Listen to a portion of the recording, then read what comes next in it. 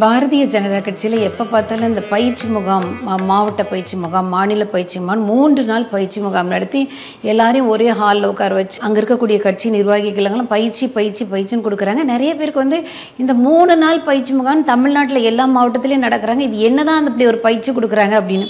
இது வந்து இந்த கட்சி கட்சியாக தாவின டாக்டர் சரவணன் போன்றவற்றை நம்மளுடைய நிருபர்கள்லாம் கேட்குறாங்க அந்த மூணு நாள் பயிற்சி முகாம்னு அது என்னதான் நடத்துகிறீங்க அதில் என்ன சொல்லி தருவாங்க? எப்படி ஆட்சி பிடிக்கிறது?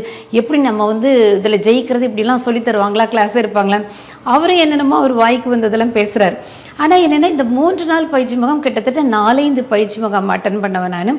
தேசிய லெவலையும் பயிற்சி முகாம் அட்டன் பண்ணியிருக்கிறேன் ஹரியானா பாட்னால. அதில் நம்மளுடைய தேசிய தலைவர் ஜே பி நட்டாஜி அவர்கள் அமித்ஷா அவர்கள்லாம் வந்து கிளாஸ் எடுப்பாங்க. தொடர்ந்து ஒரு நாளைக்கு எட்டு கிளாஸ் ஒம்பது கிளாஸ் ஒரு ஒரு மணி நேரம் கிளாஸ் வந்து இப்படி நடந்துகிட்டே இருந்தது. இந்த பயிற்சி முகாமில் வந்து அப்படி என்னதான் சொல்லித் தராங்க? மூணு நாள் உட்கார வச்சு என்ன சொல்லித் தராங்க அப்படின்னா முதல்ல வந்து மூணு நாள் நமக்கு தங்குறதுக்கு ரூம் கொடுத்துருவாங்க. அது நம்ம வீட்டில் இருக்கிற மாதிரி வசதியாக இருக்காது. ஏசிலாம் இருக்காது. ஒரு ஃபேனு ஒரு கட்டில் ஒரு பேசிக் வசதி தான் இருக்கணும். அதில் தான் நம்ம தங்கி ஆகணும். காலையில் அஞ்சு மணிக்கு டப்பு டப்புன்னு கதவை வந்து ஒரு குச்சி வச்சு தட்டி விசில் அடி அடின்னு அடிப்பாங்க நம்ம அஞ்சு மணிக்கு எந்திரிச்சாகணும். எந்திரிச்சு வெளியே போனால் உடனே ஆன்மீக பாடல்கள்லாம் காற்றுல ரொம்ப சத்தமாக இருக்கும். அதை கேட்டுட்டு நம்ம ஐந்து மணிலேருந்து காலை கடெல்லாம் முடிச்சுட்டு ஆறு மணிக்கு யோகா தியானம் இதெல்லாம் கற்றுக் கொடுக்குற இடத்துக்கு வந்து ஓப்பன் கிரவுண்டுக்கு கூட்டு போயிடுவாங்க ஆண்கள் தனியாக பெண்கள் தனியாக அப்படின்னு. அங்கே வந்து இந்த யோகா எக்ஸசைஸுங்கெல்லாம் ஒன்றுலேருந்து ஒரு ஒன்னே கால் மணி நேரம் பக்கம் பண்ண வைக்கிறாங்க. இதை பண்ணி முடிச்சுட்டு உடனடியாக டீ குடிச்சிட்டு பதினஞ்சே நிமிஷத்தில் நம்ம ரூமுக்கு வந்து விறுவிறுன்னு குளிச்சுட்டு ட்ரெஸ்ஸை மாற்றிட்டு உடனே நம்ம வந்து பிரேக்ஃபாஸ்ட்டுக்கு போய் அங்கேயும் வந்து இவ்வளோ நேரம் தான் அப்படின்னு கொடுப்பாங்க. இருபது நிமிஷம் இருபது நிமிஷம். அதுக்குள்ளே இந்த வெட்டி கதையெல்லாம் அடிக்காமல் உடனே சாப்பிட்டு ஓடி நம்ம வந்துட்டு உடனடியே பயிற்சி முகாம் நடக்கிற இடத்துக்கு வந்துடணும். இதில் என்னென்னா ஐந்து நிமிடம் லேட்டாக வந்துட்டா எல்லா டோர்ஸும் வந்து க்ளோஸ் பண்ணி விட்டுறாங்க. க்ளோஸ் பண்ணிட்டு வரக்கூடாது.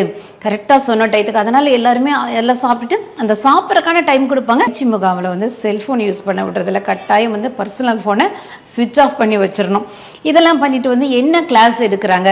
தொடர்ந்து ஒரு நாளைக்கு ஒம்பது கிளாஸ் எடுக்கிறாங்க. மாறி மாறி தலைவர்கள் வந்து எடுக்கிறாங்கன்னா என்ன கிளாஸ் எடுக்கிறாங்க அப்படின்னா நம்மளுடைய இந்தியா வந்து எப்பேற்பட்ட ஒரு நாடு.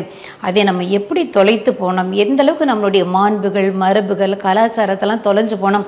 எப்படி சுலபமாக ஒரு வெளிநாட்டுக்காரன் நம்ம வந்து ஆக்கிரமிக்க முடிஞ்சுது. பெரிய பெரிய முகலாய மன்னர்கள் அந்த மன்னர்கள் வந்து நம்மளுடைய கனிம வளங்கள் தங்கம் வெள்ளி வைரங்கள்லாம் எப்படி கொள்ளையடிச்சிட்டு போனாங்க? இந்த மாதிரி நம்மளுடைய பெருமையெல்லாம் நம்ம எப்படி தொலைந்தோம்? அப்போ வந்து நம்மளுடைய விடுதலை போராட்ட வீரர்கள் எப்படிலாம் கண்ணீர் சிந்தி எத்தனை இன்னுயிரம் மாய்த்து வந்து நம்ம சுதந்திரத்தை எப்படி பெற்றுக்கொண்டோம்?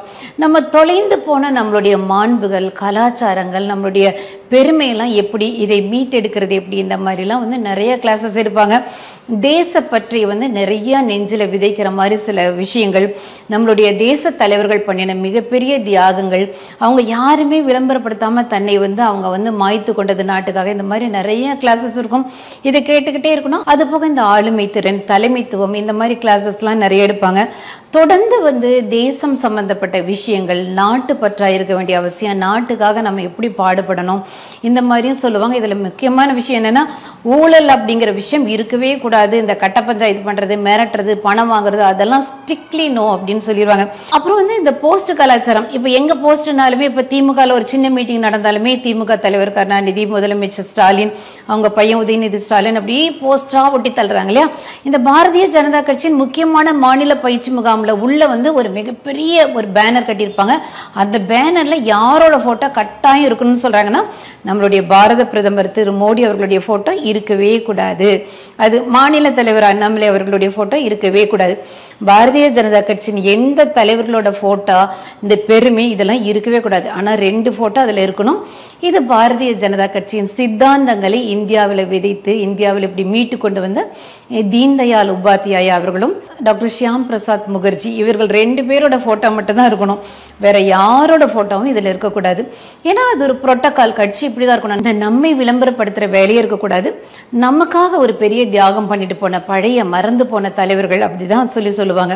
ஸோ இந்த மாதிரிலாம் பண்ணிட்டு அவர்களுக்கு முதல்ல மரியாதை பண்ணிட்டு பயிற்சி முகாமில் முழுக்க முழுக்க தேசப்பற்று சுய ஒழுக்கம் ஆளுமை திறன் நம்மளுடைய நாடு எவ்வளோ பெரிய முக்கியமான நாடு எவ்வளோ அருமையான விருட்சங்கள் நீர்வளம் அத்தனை தட்பவெடுப்பத்தில் ஒரு அருமையான நாடு. வெளிநாட்டுக்காரங்களாம் பிடிக்கணும்னு நினச்ச அருமையான நாடு அதை எப்படி இழந்து போனோம் அதை மீட்டெடுப்பது எப்படி இதையே ஒரு பேச்சாக இருக்கும். இந்த பயிற்சி முகாமில் நம்ம கலந்துக்கிறது கொஞ்சம் கஷ்டமாக தான் இருக்கும் காலையிலேருந்து நைட் வரைக்கும் உட்காந்து கேட்டுக்கிட்டே இருக்கிறதுங்கிறது ரொம்ப உண்மையாக சொல்ல போனால் கஷ்டமாக தான் இருக்கும். ஆனால் என்னென்ன பார்த்தோன்னா ஒரு குறிப்பிட்ட நேரம் முழுக்க நம்மளுடைய மனம் முழுக்க மூளை முழுக்க என்ன நிரம்பி இருக்குன்னா இத்தனை தலைவர்கள் நம்ம தேசத்துக்காக நம்ம பாடுபட்டு அவர்களுடைய உயிரை மாய்த்தி இவ்வளோ பெரிய தியாகங்கள் செய்யும்போது ஆஃப்டரால் ஒரு நாள் உட்கார்ந்து வந்து இதை கேட்கக்கூடாது அப்படிங்கிற மாதிரி ஒரு எண்ணம் வந்து நமக்கு வந்து ஒரு மனசு முழுக்க வரும். அப்படிப்பட்ட ஒரு தேசப்பற்று வந்து நிறைய நிரம்பி விடும். மூணு நாள் இதுதான். ஏன்னா பாரதிய ஜனதா கட்சி பொறுத்தவரை நான் அதில் சிறுபான்மையின் மாநில தலைவியாக இருக்கிறேன். அறுபது மாவட்டங்களையும் வந்து உண்ணாவிரதம் இருந்தாங்க. உண்ணாவிரதம் இருக்கும்போது பார்த்தீங்கன்னா மற்ற கட்சி உண்ணாவிரதம்னா வந்து இடையில போய் டாஸ்மாக்ல போய் தண்ணி அடிக்கிறது பஜ்ஜி போண்டா சாப்பிட்றது சைட்ல இருந்து ஜூஸ் குடிக்கிறது இடையில சாப்பிட்டு வந்து திரும்ப உண்ணாவிரத பந்தல் உட்காருது ஆனா அறுபது மாவட்ட உண்ணாவிரத பந்தலையும் ஒரு டீ கூட ஒருத்தர் கூட குடிக்க எந்திரிக்கல. உண்ணாவிரத பந்தலை சுற்றி இருக்கிற டீ வடை போண்டாக்காரங்கள பிரமிச்சிட்டாங்க. ஏன்னா எங்க இதுவே ஒரு டிஎம்கே மீட்டிங்னா இங்க என்ன மாதிரிலாம் நடந்திருக்கும்? எப்படி இப்படி காலையிலேருந்து சாயந்தரம் வரைக்கும் உண்ணாவிரதம் இருக்கிறீங்க? அந்த அளவுக்கு ஒரு கட்டுப்பாடான ஒரு கட்சி அப்படிங்கிறத வந்து நான் உங்களுக்கு சொல்லிக்க விரும்புகிறேன் பெண்களுக்கும் இது ஒரு பெரிய பாதுகாப்பான கட்சி. அதாவது நம்மளை யாருமே ஃபோர்ஸ் பண்ணுறது தலைவர்கள் கட்டாயப்படுத்துறதுங்கிறது எதுவுமே இருக்காது. அந்த அளவுக்கு அம்மா அப்படிங்கிற வார்த்தையை தவிர மறுவார்த்தை யாருமே பேசி கேட்டதில்லை யாரை கேட்டாலும் டெய்சியம்மா எப்படி இருக்கீங்க? டெய்சியம்மா நல்லா இருக்கீங்களான்னு கேட்பாங்க. அந்த அளவுக்கு பெண்களுக்கு பாதுகாப்பான ஒரு கட்சி. அதாவது தானே ஒழுக்கம் இல்லாம சிலர் யாரோ ஒரு பெண்ணோ ஆணோ இருக்கிறாங்கன்னு நான் கட்சி நம்மளை எந்த விதத்திலும் ஃபோர்ஸ் பண்றதே கிடையாது. மற்றபடி இந்த மாதிரி வந்து இழந்த பெருமையை மீட்டெடுத்த ஒரு கட்சி. ஒரு சில வருஷத்துக்கு முன்னால ஒரு காங்கிரஸ் திமுக இங்க ஆட்சியில் இருக்கும்போது நம்ம இலங்கை வந்து ஒரு குட்டி நாடு நம்மளுடைய தமிழர்களை கொன்று குவித்து வந்து அத்தனை மானபங்கப்படுத்தி கொடுமைப்படுத்திட்டு இருந்தாங்க. அந்த அளவுக்கு ஒரு பலவீனமான ஒரு நாடாக நம்மளை மாற்றி வச்சிருந்தாங்க. இன்னைக்கு ஒரு அபிநந்தன் வந்து எல்லை மாதிரி பாகிஸ்தான்ல விழுந்த ஒரு ஃபோன் பிரதமர் பண்றார் அழகா கோட் சட்டை போட்டு இறக்குறாங்க. அந்த அளவுக்கு ஒரு பாதுகாப்பா இன்னைக்கு மாறி உலக நாட்டு பிரதமர்களாக நம்ம நிமிர்ந்து பார்க்குற அளவுக்கு இன்னைக்கு வந்து ஒரு நாட்டை நம்மளுடைய நாட்டை நம்மளுடைய பிரதமர் வந்து மாற்றி வைத்திருக்கிறார். நிறைய பொய்கள் வந்து இதில் உழவுது. ஆனால் உண்மையை உங்களுக்கு சொல்லணும் அப்படிங்கிறது தான் இந்த மூணு நாள் பயிற்சி முகாம். எப்படி இருக்குதுங்கிறத உங்களுக்கு சொல்லணும்னு இது எதையுமே கூட்டி குறைக்காம நான் உங்ககிட்ட இதை பற்றி சொல்லணும்னு தோணுச்சு சொன்னேன். நன்றி வணக்கம்.